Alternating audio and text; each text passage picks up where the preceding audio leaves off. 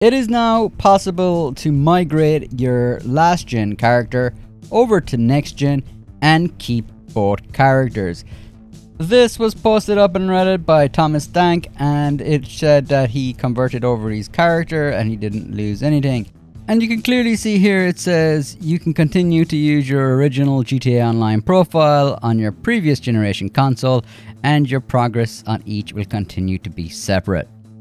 I confirmed this as well on my PlayStation 4 by bringing over a character I created on PlayStation 4 into PlayStation 5, and I did have both characters available to use um, from that point on. So yeah, this is legit.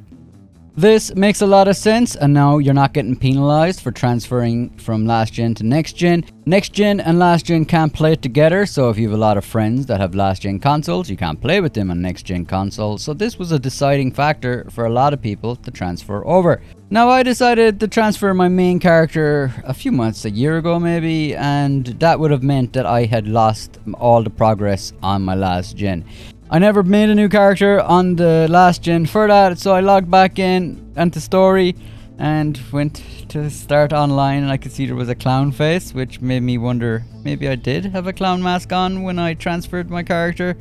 But no, it loads me straight into you know, remake a character from scratch screen. It doesn't bother me hugely as I don't play GTA as much as I used to, but I know there's a lot of people out there that did transfer over their characters and they have a lot of friends and stuff that play on last gen. And they might be a little salty about this if they had to start building up a character from scratch while also keeping their main character as well. Like, I mean, I can definitely see people being salty about this.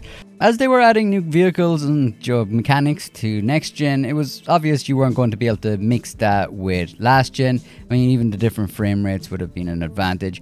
But you should have still been able to keep your existing account and money on last gen. It, it really, really did turn a lot of people off um, upgrading onto next gen, which I think is the reason that they're doing this now. I suspect that they didn't get as many people upgrading to next gen despite all the GTA Plus benefits and crap that they throw at them. So they kind of realized, okay, maybe maybe people just don't want to lose everything they built up for years by transferring onto next gen where none of their friends play on. So maybe we better let them keep their money on last gen also.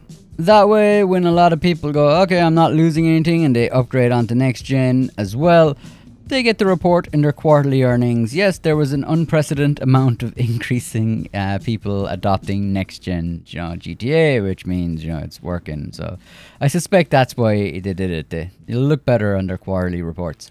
Anyway, let me know in the comments. Did you transfer or migrate your character over, and do, do you care? Are you a little salty about it, or have you been holding off and now you might transfer over as it's not gonna really make you lose anything? Love reading your comments and getting your feedback, so I look forward to having a browse through them. Massive thanks to everyone who supports the channel, especially to the members. You guys are awesome. Alright, people, catch you again.